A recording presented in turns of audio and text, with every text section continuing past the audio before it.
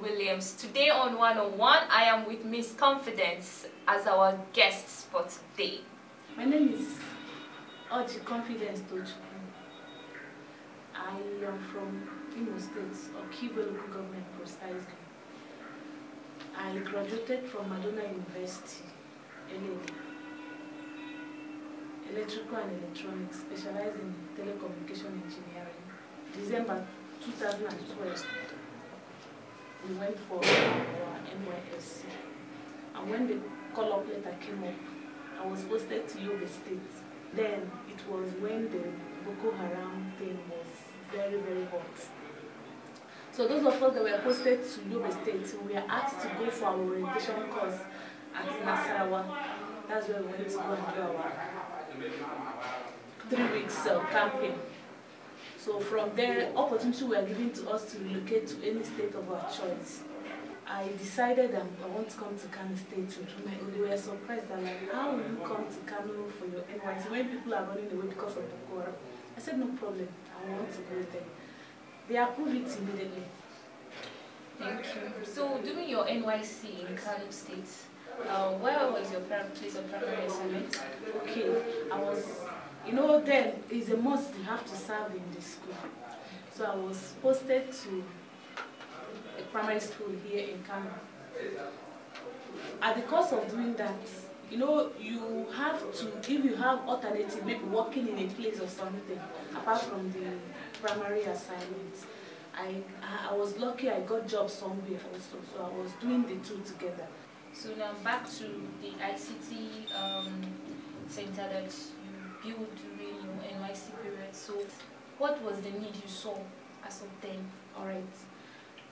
When I joined the ICT CDS group, I found out that the place we are staying or gathering every Thursday for our, our, our community development, it was not really enough. It was small and the core members were much. So based on that, I said no. Since um, we were taught in the NYSC campaign that we supposed to look out into the community we are being posted to. What is a peculiar thing they needed in that particular area? If we can do it, it will create an impact, an impact that will last. And in that, that our names can actually be written down that we did something. It's not just one year. So since I love my course and I specialize in telecommunication, I said I can actually start up by building an ICT center. But the fear was, how will I do this? I know it's capital intensive, asking persons, how if you want to do any community development stuff, how will you do it? So we are telling you, you got to look for sponsors, you have to do this and that. I said, I don't know anybody, this is my first time, so how do I even start? One day I went to um, business center to go and photocopy some of the papers. And I met some of my core members, they were just gisting. As we were gisting, one of them heard me when I said I want to build a city center. He was like, you how? Within this, you have you are going to pass out this October, September, highest you are out yeah. of this place. So I said, don't worry, I will. My mind is telling me to be possible. So he said, okay, what he will do for me is he will just suggest some persons to me. So he listed out some names for me. That if I'm bored, I should just go and meet them. If it's the will of God, I will do this uh, come to pass. From there, I pick it. I started planning, thinking, and all that. I went to so many companies, though. I went to some individuals. Then one day, based on the names he gave me, there was a program I attended in BUK where then one barrister gave a lecture on entrepreneurship. I was interested in that barrister that I would like to go closer and see. So I now inquired, somebody now directed me where his office is located. When I got there, I just told him, sir, look at what I have in mind. I submitted my proposal to him. You know, they said, how did you get here? I said, sir, look, I just told him that I met you somewhere, I didn't see you one on one, but somebody actually directed me. Who? I said, sir, don't worry about it. This is what I want. He said, okay, no wahala, let us see how it will be. Okay, what you do, go and um, do the estimate of what it will cost, because this thing you actually want to do, I'm surprised that a lady, a young lady like you, can just come to a place you've not been to. You want to do this. Let's see if it will work out. And one old Hausa man I knew in the company I, I got, the second place I was working, I told him that look at what I have in. Please, you should come and help me. That I've gotten somebody that wants to sponsor me. So the Hausa man now helped me.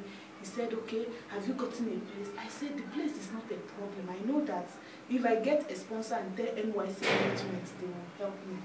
So he said, okay, no wahala. He just estimated some things. So I went back to Barrister. Barrister said, okay, no. Have you gotten a land where you want to do it? I said, sir, yes. I've met the NYC management and they have given me a portion. I brought it, the, uh, the proposal. He looked at it. Then it was um, around 800 and something thousand naira. That was my first time in life of embarking on a project like that, starting from scratch. When it was getting towards the like the finishing, and when we erected the building, did the electricity wiring and everything, because it was a complete ICT, we had a hall, then we have two offices, we have convenience and um, everything. So money was now running into a million plus. So barrister has tried. Barrister equally continue giving me money. But at a point, I I don't want to bother him so much. So I have to like use my own personal money. Then my other sister also, I told I told her she has to give me some money so that I will run it because I don't want to stop halfway. To God be the glory.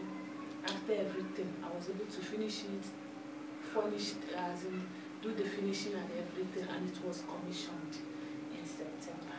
Wow, that's a great, great, great project there. Do you have any regret of choosing Kano to serve Like, since you had the opportunity to choose any state in Nigeria, would you choose Kano? Alright. Honestly, no regrets. No regret in the sense that even the day of um, commissioning of the project, I actually invited the emir of Kano, the then emir, that is the one that is late now.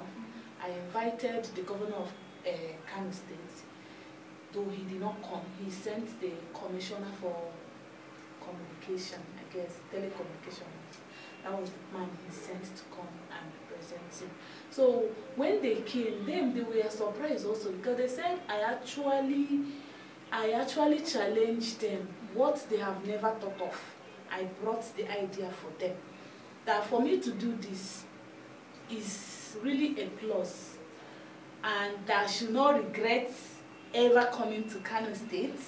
I'm proud that I was able because sometimes if I look at my system and check out the way I started because I have documentation of everything, mm. I will say, God, I thank you that I can do that kind of a thing. So I'm not regretting anything. From your explanation and everything, um, someone will see that it's not easy for a young girl to go to venture into such projects. Yeah. So what would you have to say to some of our young girls still serving? Um, do you have any advice for them? Like, can they do it or you think they shouldn't even start?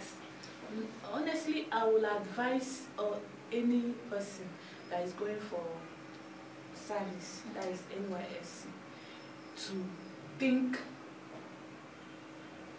beyond what others are thinking. It's really a good thing. Anywhere you go, especially a new place, if you can create an impact, it's a good thing. NYC is not a period to just go, you flex, you eat your alawi and all that, enjoy yourself. No, think of something. Anybody that wants to embark on something, I am advising I am, and, and I am encouraging, the person should go, move on and carry on. God will help him or her to achieve it. It's a good thing to do something. Leave a legacy because it speaks a lot.